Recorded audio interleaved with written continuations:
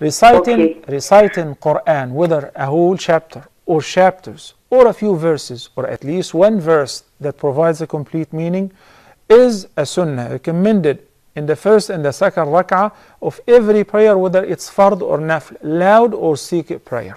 Okay? Barakallah fik. So if the person did not do it, the prayer is still valid.